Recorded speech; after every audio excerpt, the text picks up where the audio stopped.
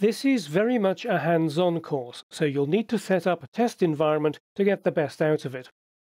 The main requirement is a web server running PHP 7.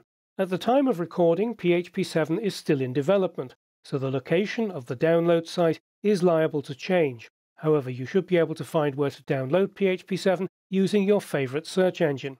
If possible, you should also have PHP 5.6 running on a different port or web server. This is because I'll be comparing how the same code runs on the different versions. In the PHP configuration, make sure that display errors is on and that error reporting is set to the constant e underscore all. You should normally do this in the main configuration file php.ini. However, if you're using an installation that doesn't load php.ini, you can create an htaccess file if your server is running on Apache. The two commands for htaccess look like this php underscore flag followed by a space, display underscore errors followed by another space, and on. Then on a separate line, php underscore value followed by a space, error underscore reporting followed by another space, and then the number 32767. This is the highest level of error reporting.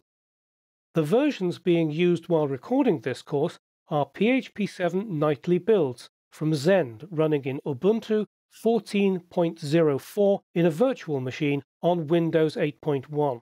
For the script editor, I used various builds of the PHP Storm 9 early access program.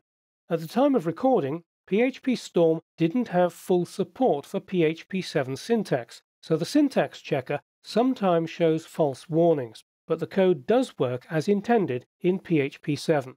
It doesn't matter which operating system or script editor you use for this course, it's completely platform neutral.